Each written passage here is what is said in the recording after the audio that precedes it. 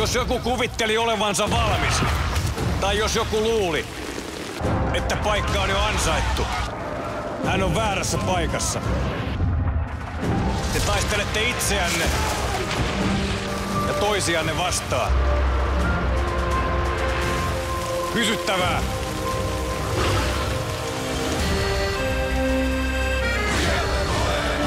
Kamppailu leijonapaidoista kotikisoissa alkaa.